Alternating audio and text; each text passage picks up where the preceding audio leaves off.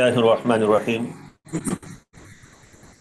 हमने पिछले सबक में ये पढ़ा था कि हुक्म की दो किस्में होती हैं, हुक्म तकलीफ़ी और हुक्म वज़ी और हुक्म तकलीफ़ी की फिर आगे पाँच किस्में पड़ी थी, जबकि अहनाफ के यहाँ वो सात किस्में हैं। उनमें से फ़र्ज़ या वाजब पर बात हो चुकी। और इसी तरह मंदूब, यानी मुस्तहब पर भी बात हो चुकी। तो ये तीसरा सबक है, करने से किसी कच्ची दलील कि वो काम नहीं करना, और ये हुक्म किसी कति दलील ये अहनाफ की तारीफ़। तो दलील कति से मुराद वो क्या लेते हैं? कहते हैं कि या तो कुरान मजीद की कोई आयत होगी या हदीस मुतवातरा होगी या इन होगा। तो इन हाँ ये क्या है? ये हराम है। जबकि जो ये हराम और मकरूह तहरीमी में फ़र्क नहीं करते, वो कहेंगे कि शरीयत ने जिससे रुकने को लाजम करार दिया हो चाहे वो कति ज़रिए से हो या जन्नी ज़रिए से हमें मिले। तो और उसके करने पर गुनाह हो, ना करने पर सवाब हो, ये होगा हराम। तो ये समझ लें, दो तारीफें हो गई। एक है, शरीयत ने जिससे रुकना लाजिम करार दिया, बस। अब वो कति ज़रिए से हुक्म मिले या जन्नी ज़रिए से? और अहनाफ के यहाँ जिससे रुकना शरीयत ने लाजिम करार दिया हो और वो हुक्म हमें कति ज़रिए से मिले। और कति ज़रिया क्या है? कुरान मजीद की किसी आयत से वो हुक्म हो रुकने का? या हदीस मुतवातरा से वो हुक्म हो? या इजमा से? अब हराम का हुक्म क्या है? तो इसका हुक्म ये है कि अगर कोई शख्स इसका इनकार करता है कि मैं नहीं मानता तो जो कति ज़रिए से साबित है, उसका इनकार कुफर है। और बाकी ये सब के यहाँ होगा कि इसे तर्क करना जो है, वो बायस अजर होगा और कुछ शख्स उसका इरतकाब करता है तो वो गुना करता है। मिसाल के तौर पे जिना है। वला तकरब जना। जना के करीब ना जाओ। अब ये सब के यहाँ ये हराम होगा चूँकि अहनाफ के यहाँ कुरान मजीद से कति ज़रिया हो गया और दूसरे के यहाँ ये फ़र्क ही नहीं था। तो अब इसका अगर इंसान कोई गुनाह से बचता है, जना से, बदकारी से बचता है तो ये अजर उसका अमल बायस अजर है और करता है तो ये गुनाह है। इसी तरह चोरी जो है, ये हराम होगा चोरी करना। और इसी तरह किसी को कत्ल करना ये भी हराम होगा। तो कत्ल की चूँकि वो भी कुरान मजीद में है, वला तख्तुलनफ्सल्लती हर्रम बिलहक। दूसरी बात यह है कि हराम की दो किस्में हैं। एक होता है हराम ली जाती ही, यानी ऐसी चीज़ कि उसकी जात में ही ऐसी खराबी, ऐसा वसफ पाया जाए कि शरीयत ने उसे हराम करार दिया। और ये भी कहा जाता है कि शुरू से ही शारे ने उसे हराम करार दिया हो और उसके करने से रोक दिया हो कि वो काम नहीं करना। यानी जाती तौर पे उसमें ऐसी खराबी मौजूद होती है कि उस खराबी की बना पर उसे हराम करार दे दिया जाता है, उससे रोक दिया जाता है। जैसे शराब है अब शराब में जाती तौर पे ही ऐसी खराबी मौजूद है कि शरीयत ने उससे रोक दिया कि शराब पीना हराम है, शराब नहीं पीनी। इसी तरह मुर्दार खाना जाती तौर पे उसमें ऐसी खराबी मौजूद है कि शरीयत ने उससे रोक दिया कि ये नहीं खा सकते, ये हराम ली जाती ही, जाती तौर पे जिसमें ऐसी खराबी मौजूद हो कि जिसकी वजह से शरीयत ने उसे, उससे रोक दिया है। बाकी बात ये बात समझने वाली है कि अगर कोई शख्स हराम का इरतकाब करता है तो उससे दीगर अहकाम मुतासर नहीं होते। मिसाल के तौर पे, अगर किसी शख्स ने बदकारी की है तो क्या इससे वो औरत उसके दीगर रिश्ते, मिसाल के तौर पे अपनी साली से, ये हमारे यहाँ मशहूर आम मसला चलता है। तो क्या इसका निकाह टूट गया? नहीं, निकाह अलग है। वो गुनाह उसका बहुत बड़ा है, कोई शक नहीं है, लेकिन उससे निकाह नहीं टूटा। इसी तरह, बदकारी से जो बच्चा पैदा हुआ, वो बच्चा इसकी तरफ़ मंसूब नहीं होगा। क्योंकि नसब जो साबित होता है, वो सही निकाह के साथ होता है। तो वो दीगर जो अहकाम है, वो मुतासर नहीं होंगे। ये नसब इसके लिए साबित नहीं होगा, ये बच्चा उसे ये अपना नाम नहीं दे सकता, शरी तौर पर और उसका फिर नतीजा क्या निकलेगा? जब वो इसका बेटा ही नहीं तो वो वरासत का भी हकदार नहीं है। और इसी तरह उसके अखराजात, वो भी इसके जिम्मा नहीं है। गुनाह अपनी जगह पे है, लेकिन वो दीगर अहकाम को, वो दीगर मामला को मुतासर नहीं करेगा। जबकि बाद लोगों का ख्याल ये है कि नहीं, अगर इसने बदकारी कर ली तो जो दीगर उसके ताल्लुक से रिश्ते हैं, मसलन अगर साली से किया तो बीवी इस पर हराम हो गई, ठीक है, निकाह खत्म हो गया। इसी तरह दिगर भी किसी औरत से किया तो उसकी बहन, उसकी माँ, वो इस पर हराम हो गई। ये सारे अहकाम वो इस पर जारी करते हैं। लेकिन ये बात दुरुस्त नहीं है। इसके बाद एक बात मजीद समझने वाली है कि बाज़ात किसी ज़रूरत की वजह से एक चीज़ वैसे बेजाती ही हराम होती है। इसकी तफसील वैसे आगे आएगी, रुखसत और अजीमत की बहस में। तो लेकिन किसी ज़रूरत की वजह से वहाँ वो मुबा हो जाती है। उस खास ज़रूरत के पेश नज़र उस हराम का इरतकाब किया जा सकता है, वो इसके लिए मुबा हो जाता है, इसके लिए गुना नहीं रहता। मिसाल के तौर पे एक इंसान भूखा मर रहा हो तो अपनी जान बचाने के लिए वो मुर्दार खाता है, ये तो वैसे हराम है, लिजाती ही है। लेकिन ये शख्स इसके लिए ये मुबा हो गया इसके लिए गुना नहीं है। अपनी जान बचाने के लिए उतना सा खा ले कि जिससे इसकी जान बच जाए। इसी तरह ये प्यास की उस कैफियत में है कि अगर चंद घूंट जो है वो, ये पानी इसको नहीं मिलता तो ये मरने के करीब है। इसे यकीन है कि मेरी ज़िंदगी नहीं रहेगी।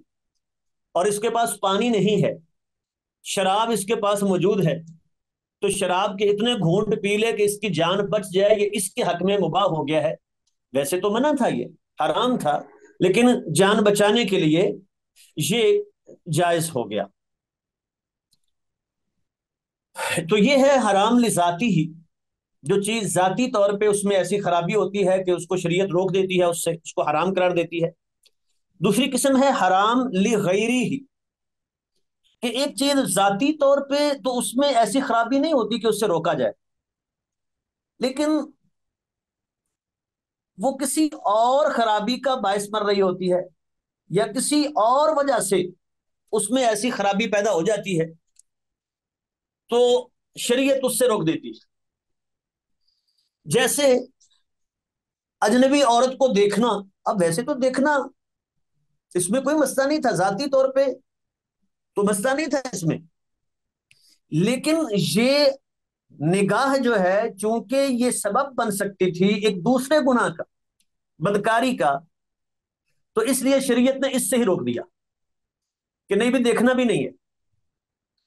इसी तरह किसी को मंगने का पैगाम देना कोई मसला नहीं है। एक इंसान निकाह करना चाहता है, उसके घर में मंगनी का पैगाम भेजता है कि मैं निकाह करना चाहता हूँ घर वालों को भेजता है, कोई हर्ज नहीं है।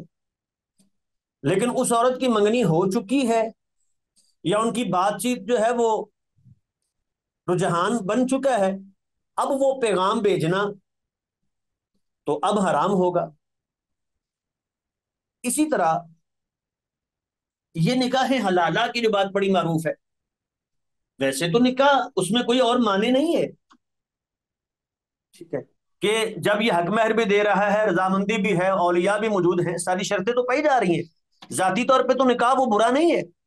लेकिन वो नीयत जो उसमें आ रही है, हलाल करने की नीयत से, दूसरे के लिए हलाल करना, ये एक खारजी सबब आ रहा है जिसकी बिना पर वो निकाह हराम हो गया। इसीलिए लान अल्लाह, हदीस में क्या अल्लाह ने लानत की है?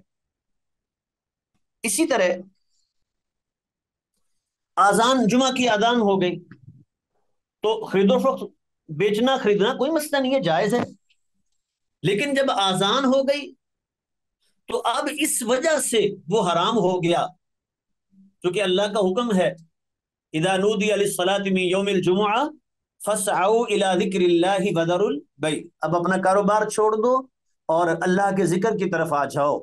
तो वैसे खरीदो फरोख्त करना, खरीदना बेचना बै करना कोई मसला नहीं था। इसके लिए हलाल थी, बेजाती ही हलाल है। लेकिन उस चूँकि जुमा शुरू हो गया, उसकी आदान गई अब इस सबब की बना पर उसे हम कहते हैं कि इस वक्त ये हराम है। तो ये है हराम लिगैरी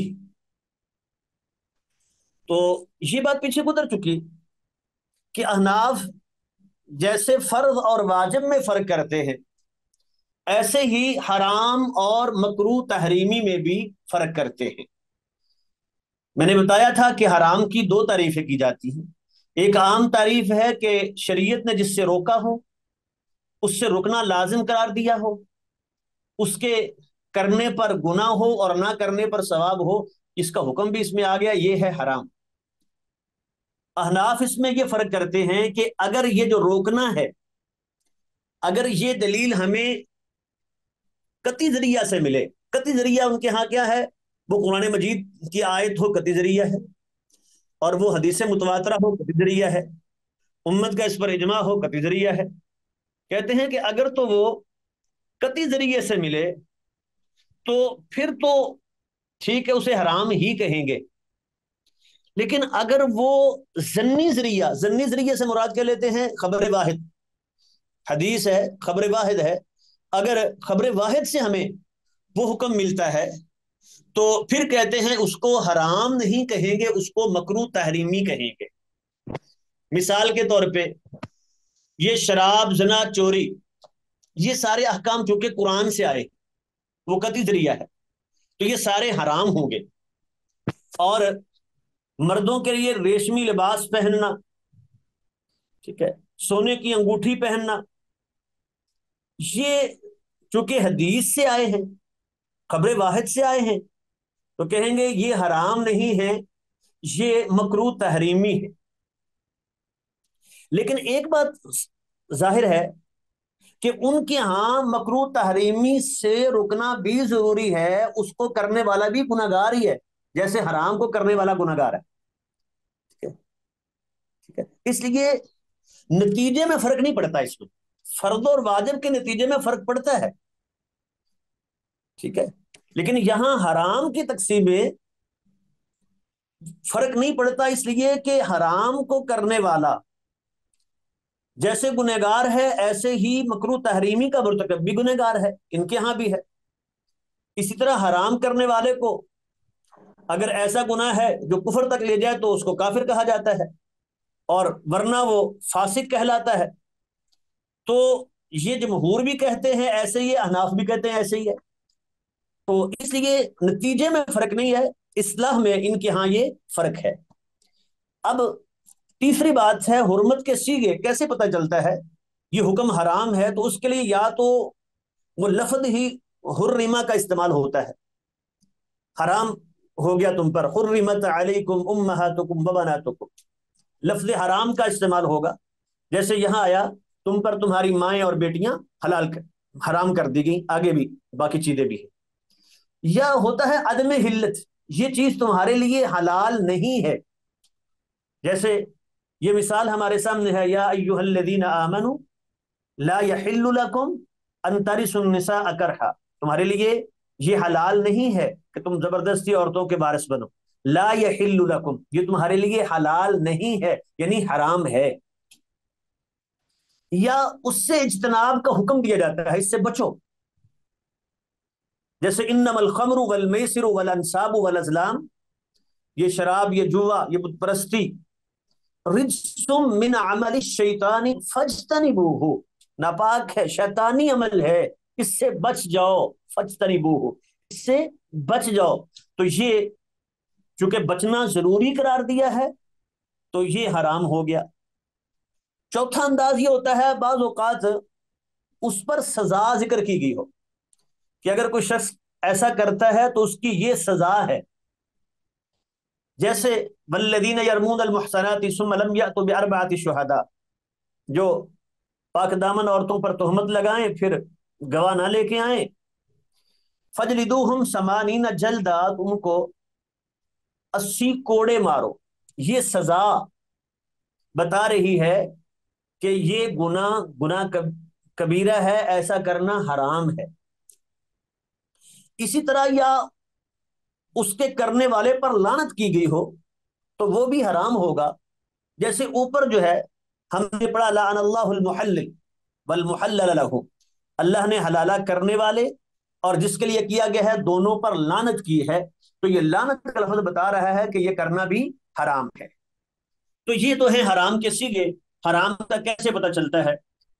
तो हराम के हवाले से एक तो हमें पढ़ ली कि हराम की दो किस्में हैं, लिजात लिगैरी। और फिर उसके बाद ये अहनाफ के यहाँ जो फ़र्क, उसको देखा और तीसरी चीज़ पे हराम के सीगे क्या हैं, ये तीन बातें हमने की हैं। उसके बाद चौथी किस्म, हुक्म तकलीफी की, ये चौथी किस्म है। पहली थी फ़र्ज़ या वाजिब। दूसरी मंदूब, यानी मुस्तहब। और तीसरी थी हराम या अहनाफ के यहाँ फ़र्क करते हैं तो मकरू तहरीमी भी साथ है। तो अहनाफ के यहाँ अगर शुमार करेंगे तो सात दो और हो चुकी हैं, फिर वो चार हो जाएँगे। चार वो और दो छह हो जाए पाँच हो जाएगी उनके यहाँ। तो ये है मकरू। मकरू का लफ्जी माना नापसंदीदा। जो चीज़ इंसान को पसंद हो, उसके मुकाबले में आता है, नापसंदीदा। और इसलाही बार से मकरू कहते हैं, ऐसा काम शरीयत ने जिससे रुकने का हुक्म दिया हो, लेकिन उससे रुकना लाजिम करार ना दिया। रुकने का हुक्म दिया, लेकिन उससे रुकना लाजिम करार नहीं दिया।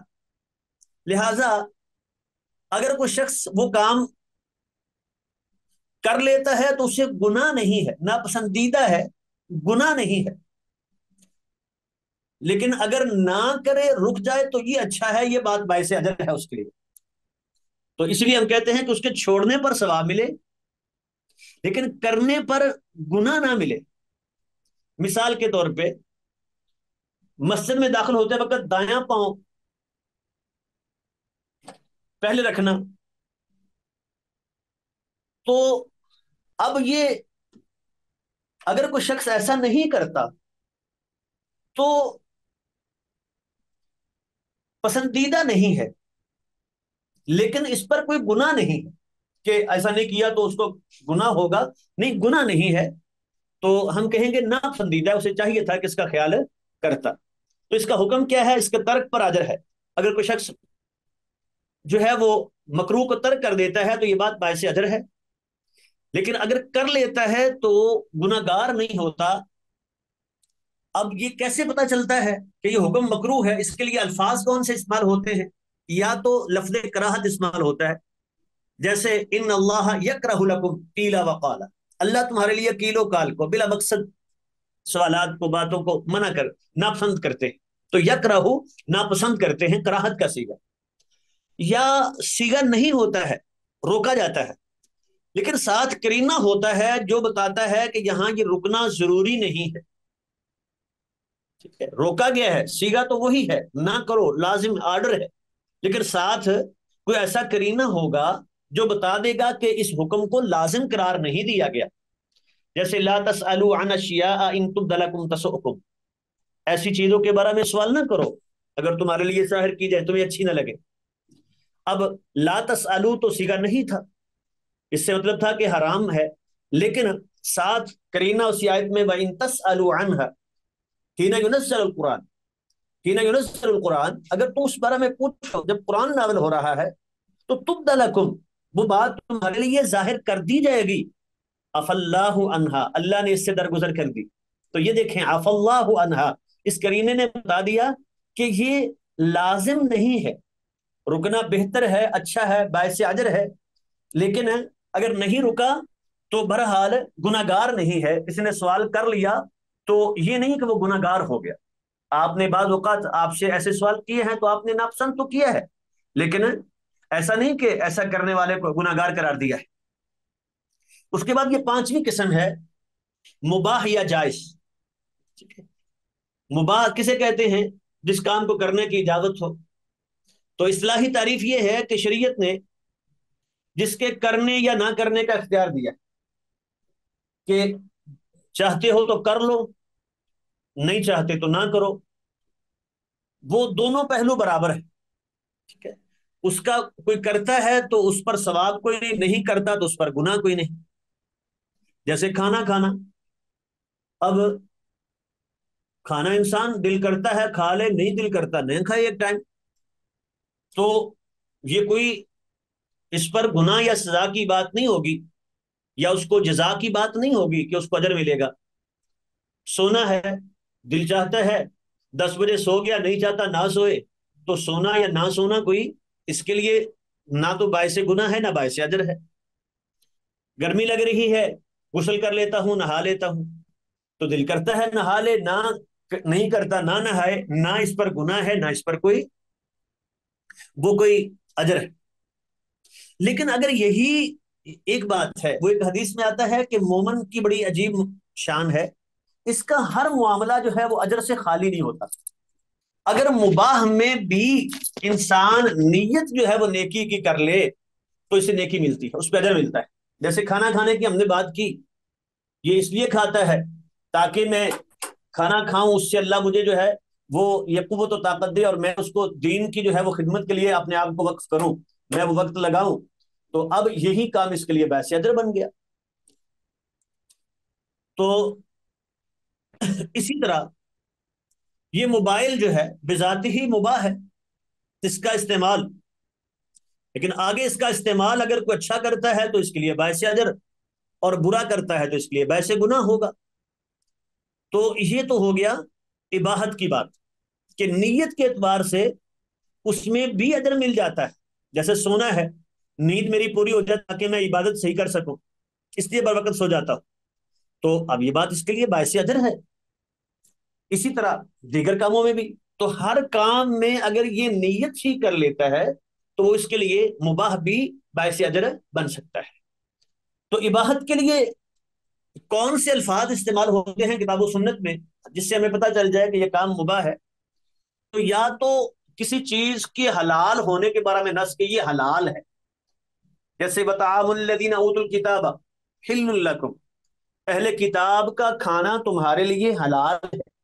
ठीक है? तो हिल्लत का लफज इस्तेमाल हो जाए। या गुना या हरज की नफी कि ऐसा करने से तुम पर कोई गुना नहीं है, कोई तंगी नहीं है। जैसे लईसा आमा हरज, वला आरज हरज। अंधे पर कोई हरज नहीं है, वो मुख्तलिफ़ आगे बयान हो रहे हैं। तो ये अदम हरज, ये नफी इसम के गुना नहीं है। तो ये भी बताता है कि ये काम वो मुबाह सीगा तो अमर का होता है। लेकिन साथ करीना होता है। जो बताता है कि यहाँ अमर से मुराद वजूब नहीं है, बल्कि इससे मुराद मुबा है, जवाज है। उसकी मिसाल है वईदा हलल तुम फस पालू कुरान मजीद में है, जब तुम एहराम खोलो तो शिकार करो फसवाद उसी का अमर है, शिकार करो। लेकिन वो करीना मौजूद है कि असल शिकार करना ये कोई वजूब नहीं था, ये मुबा था असलन। तो वो आरजी एक रुकावट आई एहराम, जिसने उसको हराम करार दे दिया। तो जब एहराम खुल गया, वो रुकावट खत्म हो गई तो हुक्म अपनी असल की तरफ़ लौट आता है। और इसके असल जो है, वो कोई वजूब नहीं था, बल्कि इसका असल जो है, वो इबाहत थी, मुबा था। तो इसलिए शिकार करना जो है, वो हलाल है, मुबा है, कोई लाजिम नहीं है। तो सीगा अमर है, लेकिन मुराद इबाहत है। तो यहाँ तक ये पाँच किस्में मुकम्मल हो गई। फ़र्ज़ या वाजिब, मंदूब या उसको मुस्तहब कहते हैं।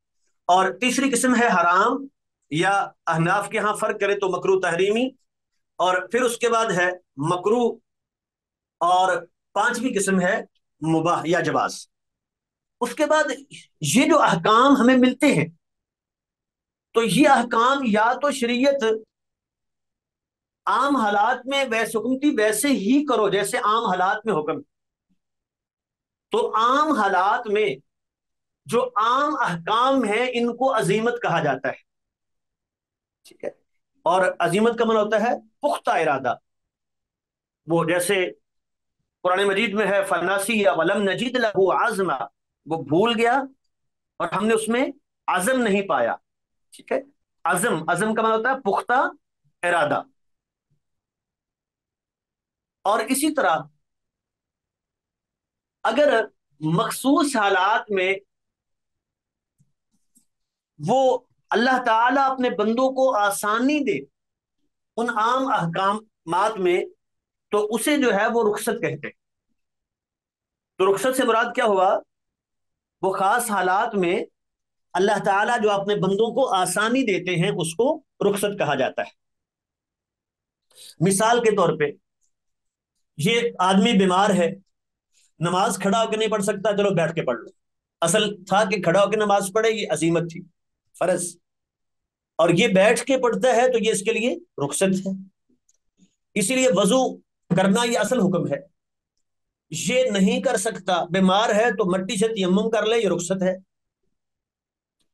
इसी तरह ये हमने पीछे भी मिसाल ज़िक्र की कि मुर्दार खाना या इसके साथ खंजीर का गोश्त खाना हराम है, नहीं खा सकता। लेकिन शरीयत ने उससे इजाज़त दे दी कि अगर अपनी जान बचानी है, बंदा मर रहा है तो जान बचाने के लिए उतना सा खा सकता है। इसी तरह सफ़र में नमाज़ असल तो ये है, जोहर चार रखते हैं। तो वो चार रकात वाली नमाजें, जोहर है, असर है या ईशा है, उनको दो पढ़ना, ये कसर करना रुखसत है। इसी तरह दो नमाजों को जमा करना मुसाफिर कर सकता है, ये उसके लिए रुखसत है। तो ये मिसालें हो चुकी कि इन्नमा हर्रम खिंजीर। असल क्या है कि ये मुर्दार हराम है, खून हराम है, खिंजीर का गोश्त हराम है। लेकिन अपनी जान बचाने के लिए इंसान उसको इस्तेमाल करता है तो उसके लिए ये उतना सा जायज़ हो जाएगा। इसी तरह अगर इंसान को जान, जाने का अंदेशा है तो ये अपनी जबान से अगर जान बचाने के लिए कलमा कुफर कह लेता है तो ये इसके लिए जवाज है जैसे कुरान मजीद में है, मन कफर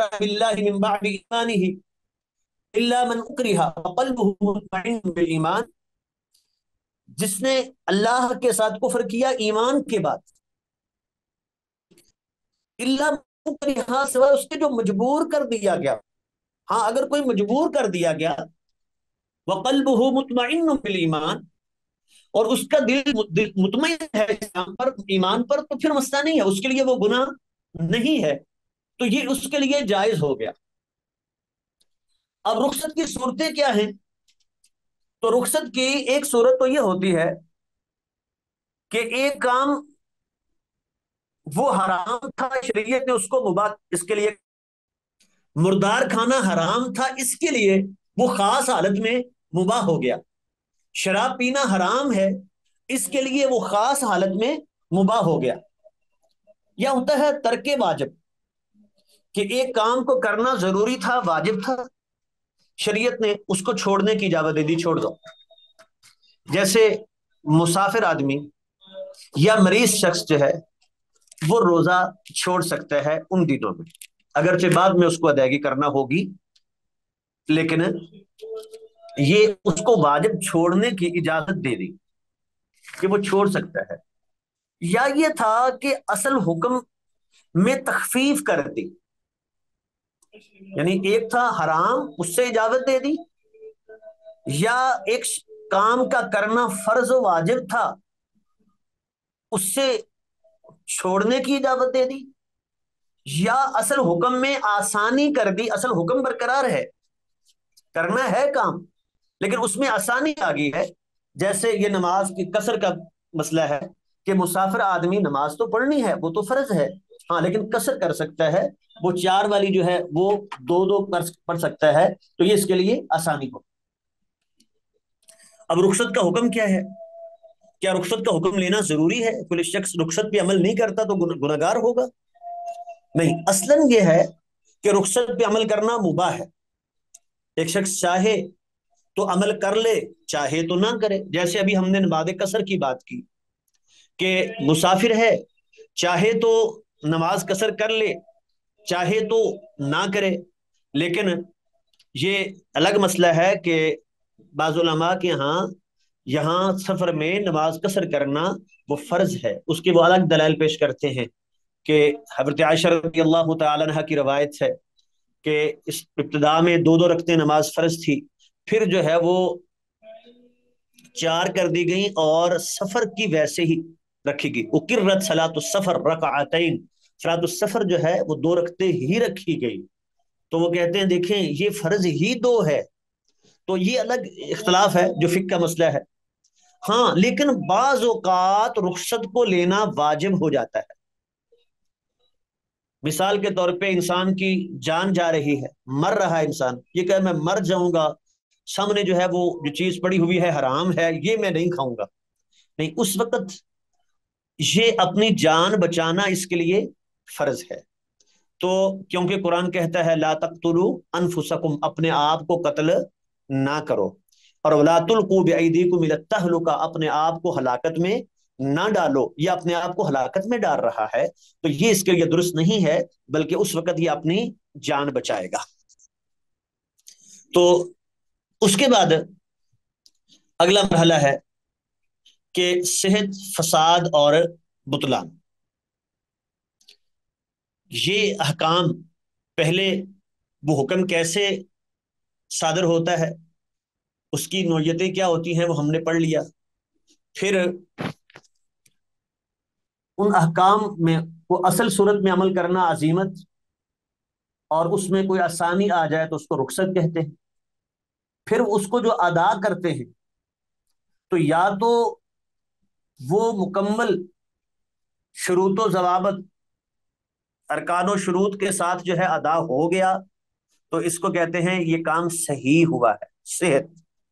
या वो फासिद कहलाता है या बातिल कहलाता है। तो इनमें तीन लफ्जों में देखें, एक लफ्ज है सेहत। ये सेहत लफ्ज जो है, ये सकीम जो अरबी का लफ्ज है, बीमार, उसकी जिद है। और इससे मुराद ये है कि वो अमल है जिसके तमाम अरकान शराइ पूरे हो। पूरे अरकान शराइ के साथ उसको अदा किया जाए तो इसे कहेंगे, ये सही है। और अगर उस फेल में कोई रुकन या शर्त रह गई तो फिर उसको या बातिल कहा जाएगा या फासद कहा जाएगा, दोनों ही। बातिल भी कह सकते हैं, फासद भी कह सकते हैं। लेकिन अहनाफ जो हैं, वो बातिल और फासद में फ़र्क करते हैं। वो कहते हैं कि अगर तो इबादात से ताल्लुक है उस अमल का तो फिर तो बादल और फासद में फ़र्क नहीं है।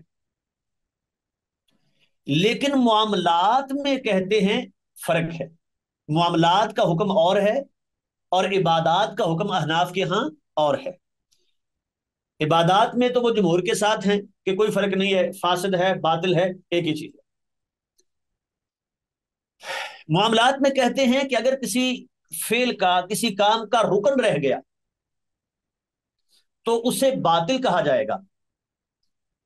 और शर्त रह गई तो उसको फासिद कहा जाएगा। और फासिद का मतलब है कि वो काम हो गया अगर जो नाकस हुआ है। ठीक है? वो बातिल नहीं हुआ, उसका कुछ ना कुछ इतबार होगा। तो जबकि अगर शर्त रह गई रुकन रह गया तो फिर वो काम बादल है, होगा ही नहीं। अब मिसाल के तौर पे, इबादात की बात देखें तो इबादात में ये कयाम या रुकू या सजदा, नमाज़ में ये रुकन है। अब क्योंकि इबादात में सारे ये कहते हैं तो किसी ने सजदा नहीं किया तो नमाज़ बातिल है, उसकी नमाज़ नहीं होगी। क्याम नहीं किया, रुकू नहीं किया तो नमाज़ बातिल है। और वज़ू शरत है। तो अगर वज़ू नहीं किया नमाज़ पढ़ने के लिए, तब भी नमाज़ बातिल है। तो दोनों में फ़र्क नहीं है और इसको जो अहनाफ भी मानते हैं कि हाँ इबादात में दोनों का हुक्म एक ही है। और ये बात भी जहन में रहे कि रुकन और शर्त में फ़र्क ये होता है कि रुकन किसी फेल के अंदर की चीज़ होती है और शर्त जो है वो बाहर की चीज़ होती है। अब देखें ना, वज़ू एक अलग इबादत है, अलग मामला है ना। ये शर्त है नमाज़ के लिए। नमाज़ जिसका आगाज़ होता है अल्लाह अकबर से और इख्ताम होता है, अस्सलाम वालेकुम रहमतुल्लाह से, उसमें कयाम है, उसमें रुकू है, उसमें सजदा है, ये रुकन है। तो ये रुकन और शर्त में ये फ़र्क है। तो अहनाफ के यहाँ इबादात में तो ठीक है, लेकिन मामलात में जो है, वो कहते हैं कि रुकन रह गया तो निकाह बातिल और शर्त रह गई तो निकाह फासद होगा, बातिल नहीं होगा। जी बस यहाँ तक जमात का टाइम हो गया है। बाकी इंशाल्लाह फिर रहमतुल्लाह।